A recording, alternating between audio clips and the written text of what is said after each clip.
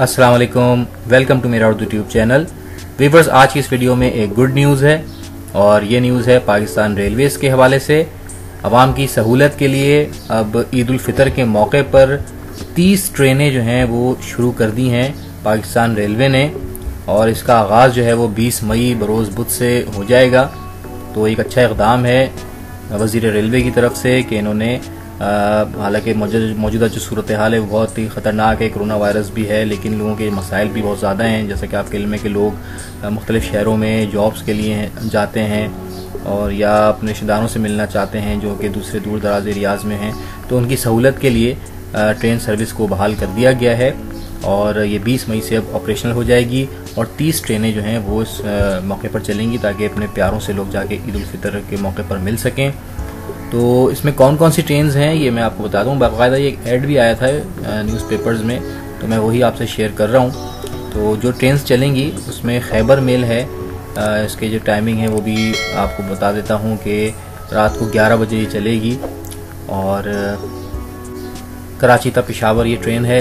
इसके अलावा अवाम एक्सप्रेस है, जो कराची तक पिशावर है ये 10 बजे चलेगी। और इसी तरह, इसके अलावा जाफ़र एक्सप्रेस है कोयटा तक पिशावर।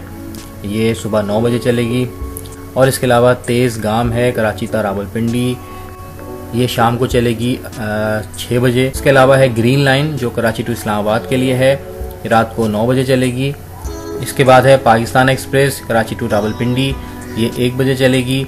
और फिर महर एक्सप्रेस है, जो कि रावलपिंडी ता मुल्तान है। पाँच बजे चलेगी ये।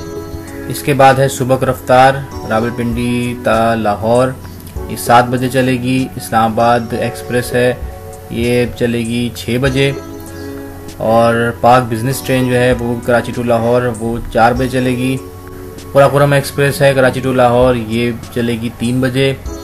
और शाह हुसैन एक्सप्रेस, जो कि एक नई ट्रेन चली थी अभी रिसेंटली कराची टू लाहौर के लिए भी बहुत तेज़ ट्रेन है। और ये चलेगी जनाब सात बजे। और फिर है मुल्तान एक्सप्रेस, कराची ता लाला मूसा। पाँच बजे चलेगी ये ट्रेन।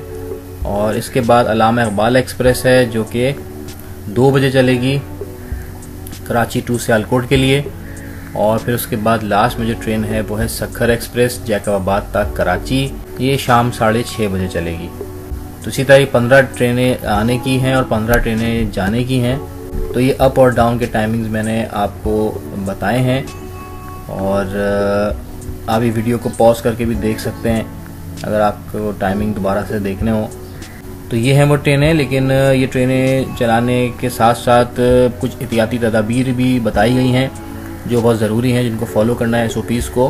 तो इसमें जो ख़ास ख़ास बातें हैं, वो ये हैं कि ट्रेनों की बुकिंग सिर्फ़ ऑनलाइन या ई टिकटिंग के ज़रिए होगी। बुकिंग ऑफ़िस जो हैं, वो बंद रहेंगे। और इसमें एक और अहम बात यह कि 60 परसेंट एक्ोपेंसी के बाद बुकिंग बंद कर दी जाएगी। मुसाफिरों को ट्रेन की रवानगी से एक घंटा पहले स्टेशन के अंदर दाखिले की इजाज़त होगी। मुसाफिरों की फैमिली इनको छोड़ने नहीं आ सकेगी। रेलवे स्टेशन से 200 मीटर तक एरिया जो है वो गैर ज़रूरी अफराद के लिए बंद कर दिया जाएगा। ट्रेन के स्टॉप्स वाले स्टेशनों पर मेडिकल ऑफिसर्स और समाजी फासले को यकीनी बनाने के लिए स्टाफ की भी तैनाती होगी। दौरान सफ़र तमाम मुसाफरों का टेम्परेचर जो है वो भी चेक किया जाएगा। और मुख्तलिफ़ स्टेशनों पर सैनिटाइजर्स, वॉक थ्रू गेट्स भी नस्ब किए जाएँगे। और इजाफी तौर पर जो चीज़ें कही गई हैं मुसाफिरों से दरख्वास्त है कि एक दूसरे से मुनासिब फासला बरकरार रखें, मास्क, दस्ताने, सैनिटाइज़र और साबुन हमरा रखें और इंतहाई एमरजेंसी में और कम से कम अफराद के साथ सफ़र करें। तो दोस्तों, ये है पाकिस्तान रेलवेज़ के जारी करदा कवायद जवाब जिन पर अमल करना बहुत ज़रूरी होगा। अगर आपको ट्रेन में सफ़र करना है और अपने अपने इलाकों में ट्रैवल करना है तो दोस्तों ये थी अपडेट वीडियो को आगे भी शेयर कीजिए अपने फ्रेंड सर्कल में ताकि दूसरे लोगों को भी आगाही हो। थैंक्स फॉर वॉचिंग मेरा यूट्यूब चैनल अल्लाह हाफिज़।